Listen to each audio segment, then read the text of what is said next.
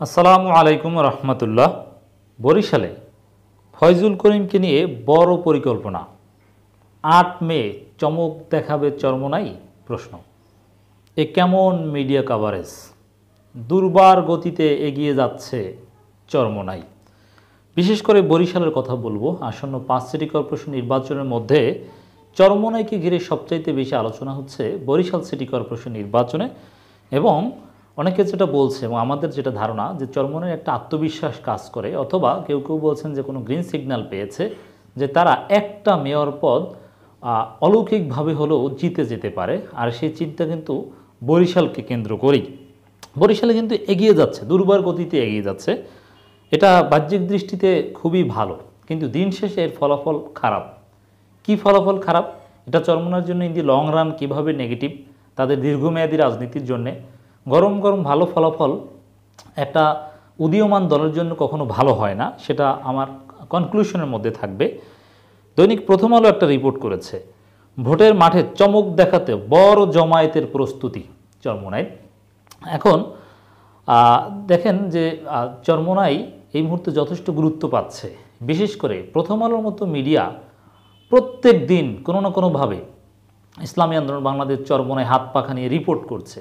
তাদের তৎপরতা কি করছে, কি ভাবছে, কে কি ভাবছে, এটা আলোচনা করছে। এটা কিন্তু একটা বড় ধরনের media coverage Daily Star Bangladesh Pratidin Jugantor, Inqilab, নয় দিগন্ত, সব মিডিয়া কভারেজ পাচ্ছে, নিয়মিত। যে কাভারেজটা একসময় বিএনপি পেত, আওয়ামী লীগের পরে অথবা আওয়ামী লীগের সাথে বিএনপি এখন সেম কাভারেজ পাচ্ছে আওয়ামী লীগ চরমোনাই। এটা চরমোনাইয়ের একটা বড় অর্জন বটে। এবং এই যে সিটি কর্পোরেশন নির্বাচনে অংশগ্রহণ করছে তাতে তাদের সবচাইতে বড় অর্জন মূলত এটাই হবে যে মিডিয়া কাভারেজ পাচ্ছে। এবং সেই নিউজগুলো আমরা অ্যানালাইসিস করছি। আমাদের মতো আরও অনেকে রয়েছে যারা নিয়মিত অ্যানালাইসিস করছে, মন্তব্য করছে। এটা চরমনের প্রচার প্রসারের জন্য অবশ্যই ইতিবাচক, ভালো। হ্যাঁ অনেক সময় আমরা সমালোচনা করলেও এটা তাদের জন্য ভালো। কিন্তু ইন দি লং রান এটা তাদের জন্য ক্ষতিকর। কীভাবে? সেটা দেখব। দেখি আগে এই রিপোর্টে কি আছে।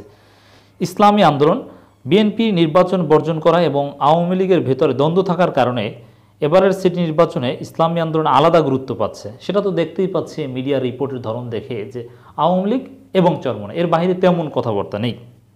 বরিশাল সিটি কর্পোরেশন নির্বাচনে ইসলামী আন্দোলনের প্রার্থীকে বরণ করে নিতে বড় আকারে জমায়েতের প্রস্তুতি নিচ্ছে দলটি।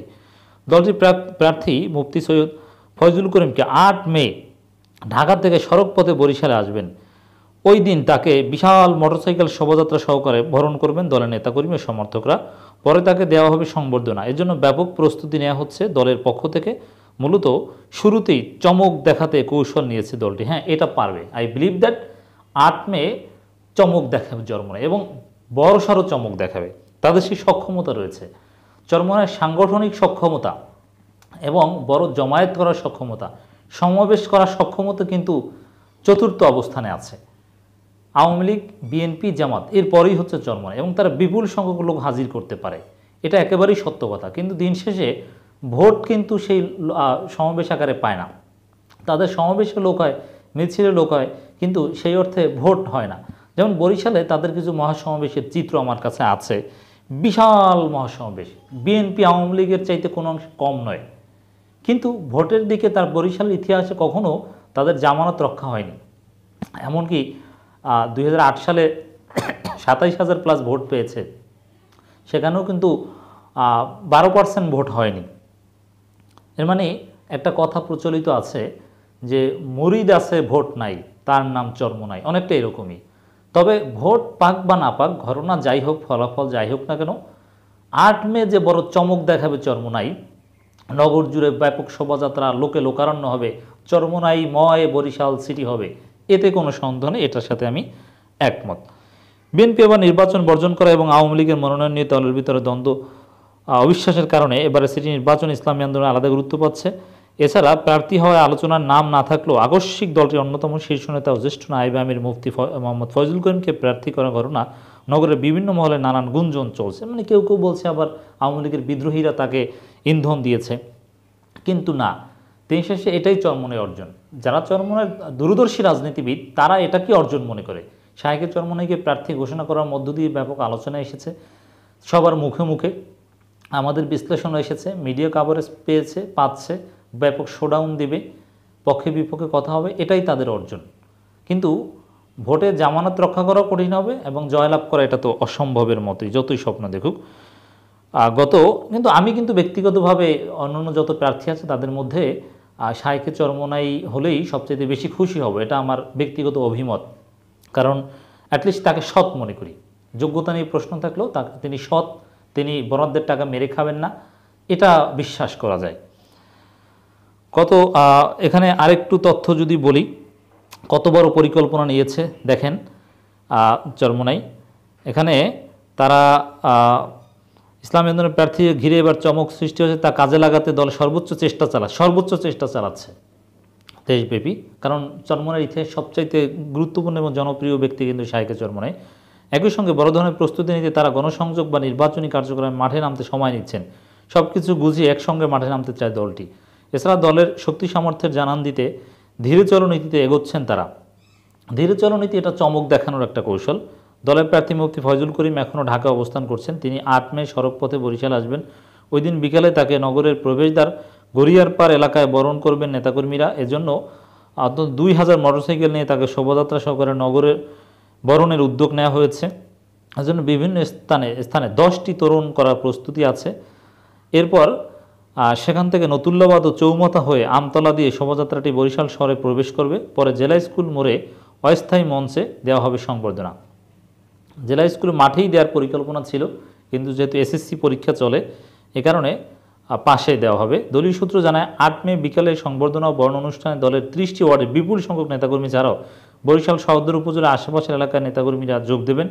বড় জমায়েত নিশ্চিত করার জন্য ভেতরে ভেতরে প্রস্তুতি নেওয়া হচ্ছে। দলের সাংগঠনিক শক্তি এবং ভোটের মাঠে তাদের প্রভাব বিস্তারের জন্য আলাদা করে শোডাউনের উদ্যোগ নেওয়া হয়েছে। আসলে শোডাউন আর ভোট পাওয়া তো এক নয়, শোডাউন দেখানো যায়। আর বরিশালের আশেপাশে না, বাস্তব কথা হচ্ছে এটা জামাত শিবিরেও করে, এটা চরমনাই করে। সারা দেশ থেকে, টোটাল বরিশাল বিভাগ থেকে লোক আসবে।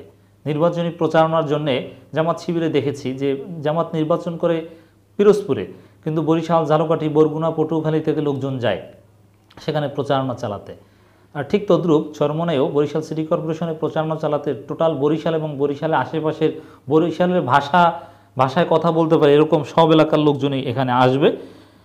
কিন্তু ভোট, এই কারণেই কিন্তু যে মুরিদ আছে, ভোট নাই। লোক শোডাউন আশেপাশের এলাকা থেকে আসে, কিন্তু ভোট পায় না। ইসলামী আন্দোলনে দলীয় সূত্র আরও জানায়, বরিশাল সিটিতে বিএনপির আলাদা ভোট ব্যাংক রয়েছে, কিন্তু এবার দলটি নির্বাচনে অংশ নিচ্ছে না।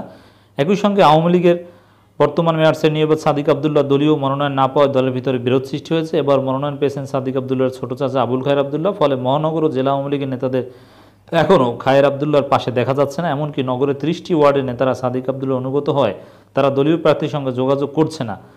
বিএনপির ভোটের মাঠে না থাকা এবং আওয়ামী লীগের দলীয় কোন্দল থাকা ইসলামী আন্দোলন এবার ভোটের মাঠে সেই সুযোগ কাজে লাগাতে এমন তৎপরতা চালাচ্ছে। এখন তৎপরতা চালাচ্ছে কিন্তু কাজ হবে না। বিএনপির ভোটও পাবে না, আওয়ামী লীগের বিদ্রোহী প্রার্থীর ভোটও পাবে না। সর্বোচ্চ জামাতের কিছু নিরীহ ভোট পেতে পারে, যে হুজুর এই সেন্সে। এই, এছাড়া বেশি কিছু পাবে না। তবে আওয়ামী লীগের কোন্দল এবং বিএনপির প্রার্থী না থাকার ফল কিন্তু অলরেডি পাচ্ছে। এই যে ব্যাপক মিডিয়া কভারেজ ব্যাপক আলোচনা, নানান গুঞ্জন, গুরুত্ব পাওয়া, এটাই। কিন্তু ভোটের মাঠে এর তেমন কোনো প্রভাব পড়বে বলে মনে হচ্ছে না। জানতে চাইলে ইসলামী আন্দোলন বাংলাদেশের বরিশাল মহানগর কমিটির সাংগঠনিক সম্পাদক আব্দুল আজিজ প্রথম আলোকে বলেন, নানা কারণে এবার ইসলামী আন্দোলন ভোটের মাঠে আলাদা গুরুত্ব পাচ্ছে। এমনকি আমরা জয়ের লক্ষ্য নিয়ে এই মাঠে নামবো, এটা অতি অতি কোথাও।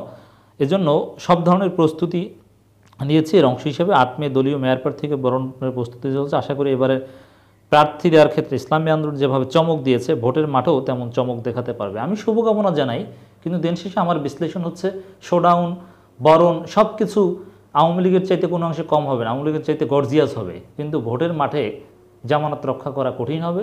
যদিও আমি আন্তরিকভাবে শুভকামনা জানাই, আন্তরিকভাবে চাই যে তার মতো একজন প্রার্থী যদি মেয়র হতো, ভালো হতো। কিন্তু জনগণ তো ভোট দিবে না।